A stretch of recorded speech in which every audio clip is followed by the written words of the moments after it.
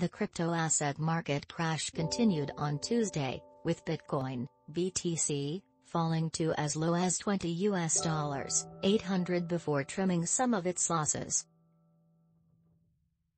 The significant sell-off came as the market braces for the possibility of an unusual 75 basis point rate hike from the U.S. Federal Reserve, Fed, this Wednesday. At 1447 UTC, Bitcoin stood at 22 US dollars, 162, down 5% in the past 24 hours and down close to 30% in the past 7 days. At the same time, Ethereum, ETH, traded at 1 US dollar, 203, down 1% for the day and 35% for the week. The losses come as the probability of a 75 basis point rate increase by the Fed has increased since Monday, data from the derivatives exchange CME Group shows.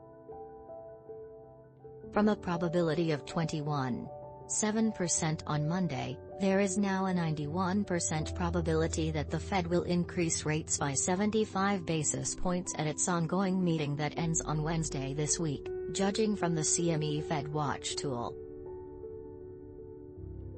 Major investment banks such as Barclays and Jefferies are also saying that a 75 basis point hike is likely following last week's higher than expected inflation report, per the Wall Street Journal.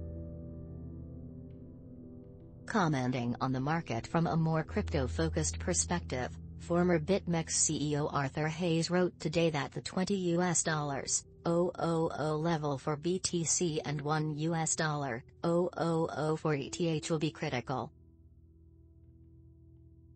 If these levels break, massive sell pressure can be expected in spot markets as dealers hedge themselves, Hayes said, warning that this could even cause some unhedged over-the-counter dealers to go belly up.